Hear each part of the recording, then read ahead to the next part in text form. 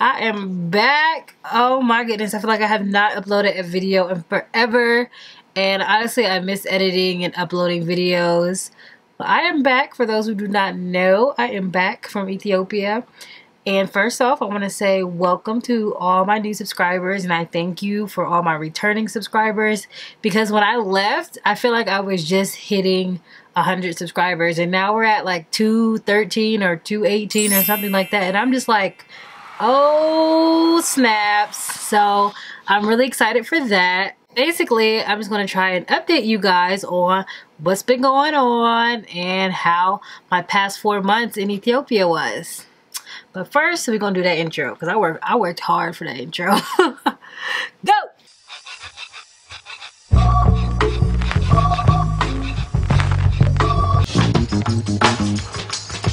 Now there she goes again, the dopest Ethiopian. And now the world around me begins moving in slow motion whenever she...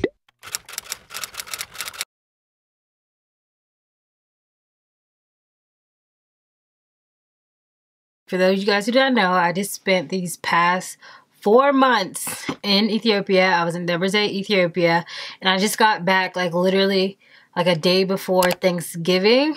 I know I'm just now uploading, but it's been it was like a really really amazing experience. Honestly, this is my third time going to Ethiopia and I want to say this has been my most impactful experience. Like it was just amazing.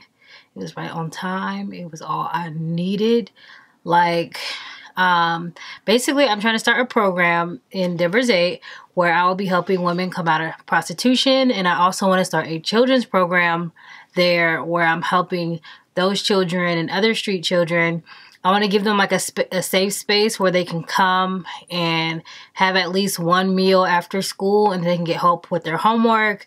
And then they can also be advised on, you know, like, well, their parents can be advised on, you know, how to transition into a better lifestyle or um, help with like finding employment or spiritual counseling and just all of that. Basically, I really just wanted to focus on women and children at this point.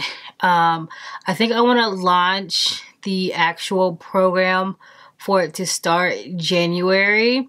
I'm gonna start fundraising and like building awareness on what we're trying to start.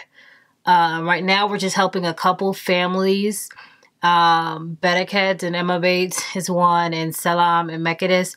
And you guys can, you know, you guys can read more about them on my website at dearethiopia.org.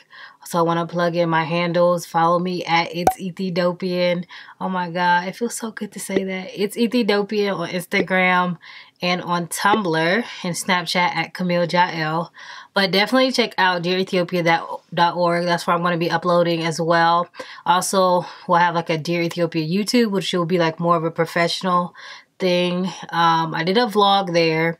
I didn't really get to record that many videos, but I vlogged there. I actually got to run a restaurant where I was serving bunna all day. And now I can legit say, after I need more practice, but my, my bunna that day, that day, I don't know about now, but that day it was fire. It was fire. So hands down, it was amazing. But it was definitely a really great, amazing experience. And it's definitely something I feel like that I needed because I want to go to law school. Um, that is my dream. My dream is to become a judge.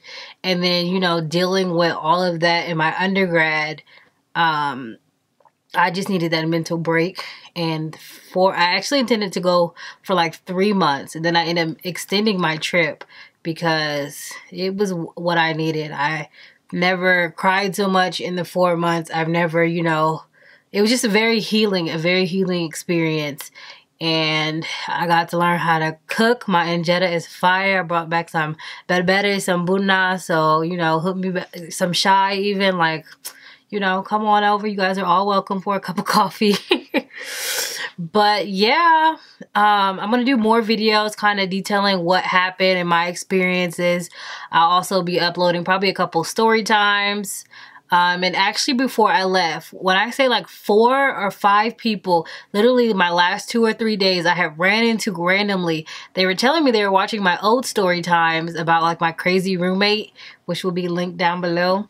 Um, and they were waiting for part three. And honestly, I didn't really feel like anybody really watched it all like that. Like it got a, a few views, but no one in my circle or no one um, who I was in contact with really said anything really about it. So it was just like, okay, I'm just, you know, I'm just uploading and this is how I am going to, I feel like I can express myself and I feel like other people who may be dealing with something similar or someone else who has the potential to avoid the situation, they can watch that and relate to it. But when I ran into all those people, they're like, where's part three? Where's part three? All right, part three is coming. I think that's what I'm going to record next. Um, and then when I came back, I ran into a couple other people who were asking me like, where's part three to the video? I'm like, okay, so I guess I'm being watched. Hey. no, but seriously, I had an amazing time in Ethiopia. It gave me a break. Like, it gave me what I needed to deal with that roommate and among other things that I was dealing with. And now I am back and I'm better. You know, I'm actually feel like I'm ready to be studying for the LSAT. I had so much anxiety. Before I continue to ramble, I'm just to go ahead and cut this video short because I just got so much to talk about. I missed you guys. Like, where you guys been? But again, thank you all for my returning subscribers and thank you all for my new subscribers and thank you for those who did not unsubscribe because I haven't posted in like four months. Um, but I love you and I don't think I came up with an outro. So, it's gonna be awkward. Bye!